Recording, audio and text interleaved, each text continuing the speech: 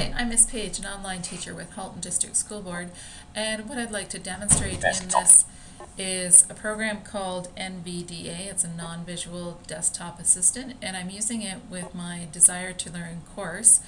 And um, I'm going to navigate this as much as I can just using the um,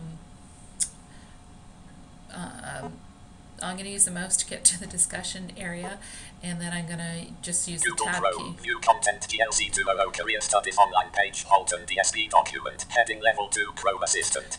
The sound you hear in the background is the uh, voice recognition software that's reading the screen, um, and it would read the content in order to um, to get to each of these pages. So if I click on this one is the assignment, this is what it sounds like.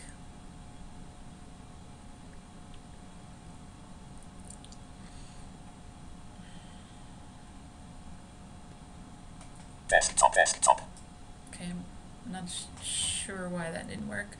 I'm going to go to the discussion area. Discussions GLC 200 Career Studies online page, Halton DSB. Link skip to main content. Visited link my home. Visited link GLC 200 Career Studies online If I take the mouse off the screen, what I'd like, I'm gonna do is I'm gonna tab over so that I get to the compose button. So I'm gonna be listening for, for the word compose. Full page link heading left.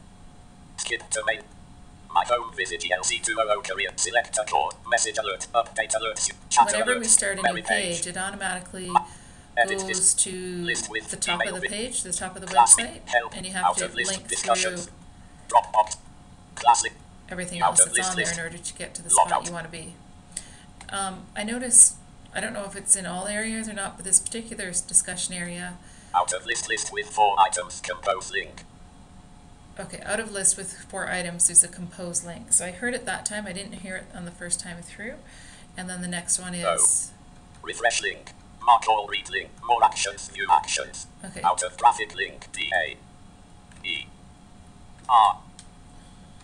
More actions. View actions. Out of graphic link. D. More actions. View out of traffic. A E R space L L. I'm gonna hit the compose key. Google Um, Chrome, loading, GLC 200 Career Studies online page, Halton DSB document, unknown, loading, GLC 200 Career Studies online page, Halton DSB, heading level 1 header, loading, body document, subject edit, blank, Okay, so we get to the subject edit and I can put in Yes. my subject. U, P, J, E, C, D, Now, in order to get to the, um, the area that I can type in, I have to, the only way I can get there is if I'm not able to use the mouse because I have low vision that doesn't allow me to use, do that. Um, I'm just gonna press the tab key and I was last on the advanced, so it's gonna bring me to that. Table, Basic, L. advanced. cut button, uh, copy button, uh, paste button, paste task, paste from undo, copy to bold, icon. italic, com, underline, uh, com, select, align, align, align, right, align, full, unordered, ordered, list, out, then, indent, horizon, sub, super, strike, direct, direction, format, com, font, family, font, size, insert, some new insert, slash, insert, unlimited, insert, custom, insert, ic, insert, stub, insert, quick check spelling button, rich text area, press ALT F10 for toolbar. Press ALT 0 for help, document editable, section editable, N-O-W, space I, space, Now I can type. C-A-N, space D-Y-P-E.